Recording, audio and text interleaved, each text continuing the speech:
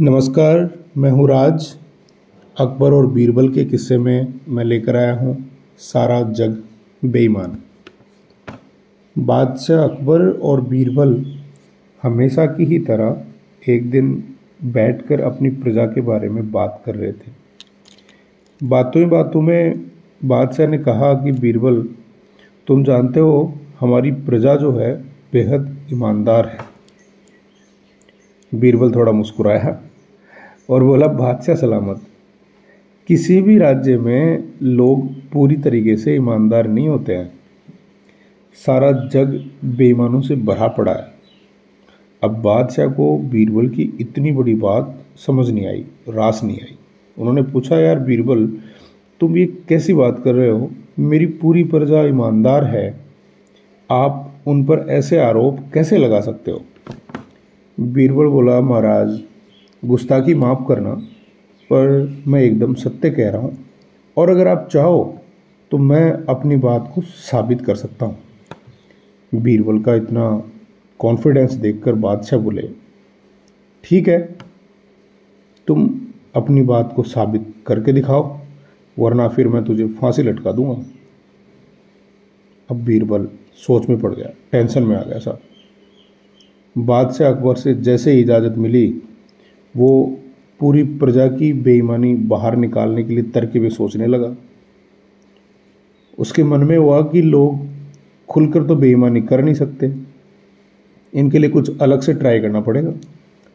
और यह सोचते उन्होंने पूरे राज्य में ये ऐलान कर दिया कि बादशाह सलामत जो हैं, एक बड़ा सा भोज करना चाह रहे हैं और वो चाहते हैं कि पूरी जनता भी इसमें अपना योगदान दे। बस आप लोगों को ज़्यादा कुछ नहीं, सिर्फ़ एक लोटा दूध का देना है। इतना ही प्रजा की तरफ़ से काफ़ी होगा इस बात का अनाउंसमेंट कर दिया और इस बात का अनाउंसमेंट होने के बाद जगह जगह पर बड़े बड़े पतीले रखवा दिए गए। अब बड़े बड़े पतीले और राज्य की जनसंख्या को ध्यान में रखकर उसमें से उसमें लोगों ने शुद्ध दूध डालने की बजाय क्या किया? पानी मिला हुआ दूध डालना शुरू कर दिया। और किसी किसी ने तो हद ही कर दी, सिर्फ़ पानी डाला। हर किसी के मन में यही होता था कि यार, बाकी सभी ने तो दूध ही डाला होगा। अगर मैं इसमें एक लोटा पानी या फिर मिलावटी दूध डाल दूँगा तो कौन सा फ़र्क पड़ने वाला? है अब शाम को सारे पतीले भर गए। दूध इकट्ठा हो गया। सारे पतीले एकदम फुल। बीरबल को सैनिकों ने बताया कि साहब पतीले भर गए बताओ आगे क्या आदेश है। तब बीरबल अपने साथ बादशाह अकबर और कुछ रसोइयों को उन जगहों पर ले गए जहाँ पतीले रखे गए थे। बादशाह ने, जिस भी पतीले में देखा तो दूध है ही नहीं। सिर्फ़ सफ़ेद पानी ही सफ़ेद पानी नज़र आ रहा है। रसोइयों ने भी कहा, महाराज, ये तो दूध नहीं है। ये तो सारा पानी है।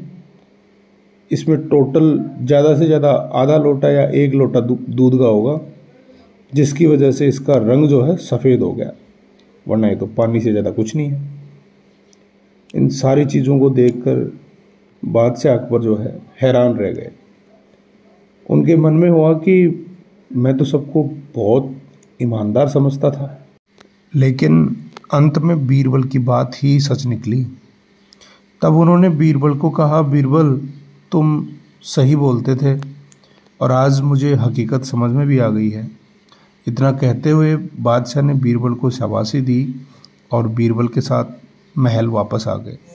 वहाँ पर खुश होकर महाराज ने बीरबल को हज़ार स्वर्ण मुद्राएँ इनाम स्वरूप भेंट की। अब इस कहानी से हमें सीख मिलती है कि किसी पर भी अंधा भरोसा नहीं करना चाहिए। मौका मिलने पर लोग बेईमानी करने से चूकते नहीं हैं।